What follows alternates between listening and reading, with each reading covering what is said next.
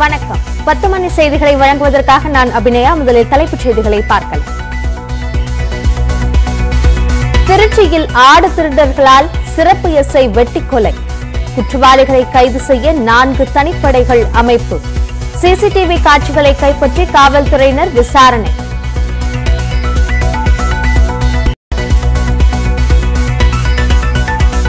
மழை வெள்ள பாதிப்புகளை பார்வையிட மத்திய குழு இன்று தமிழகம் வருகிறது. இரண்டு குழுக்களாக பிரிந்து பதினோரு மாவட்டங்களில் ஆய்வு செய்ய முடிவு. கூடுதல் நிவாரணம் கோரப்படும் என்று வருவாய்த்துறை அமைச்சர் ராமச்சந்திரன் தகவல்.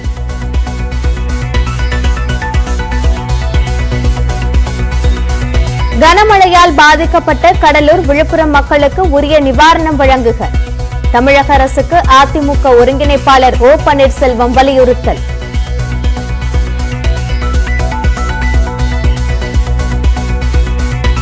மயிலாடுதுறை தஞ்சை வேலூர் உள்ளிட்ட மாவட்டங்களில் இரவில் பலத்த மழை.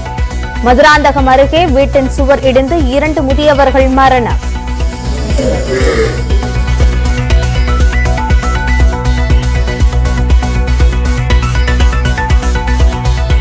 தமிழகத்தின் ஐம்பதாயிரம் இடங்களில் இன்று பத்தாவது மெகா தடுப்பூசி முகாம். இரண்டாவது தவணை தடுப்பூசி செலுத்த வேண்டிய எழுபத்தோரு லட்சம் பேருக்கு சுகாதாரத்துறை அழைப்பு.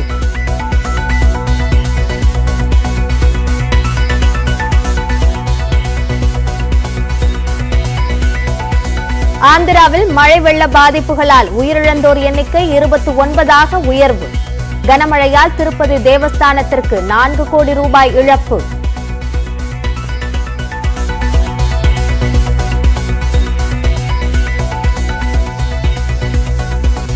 ராஜஸ்தானில் அசோக் கெல்லாட் தலைமையிலான அமைச்சரவை கூண்டோடு ராஜினாமா. புதிய அமைச்சரவை இன்று பதவியேற்பு.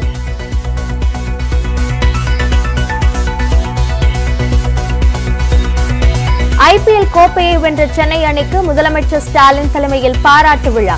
கடைசி டி டுவெண்டி போட்டியை சென்னையில்தான் விளையாடுவேன் என மகேந்திர சிங் தோனி உறுதி.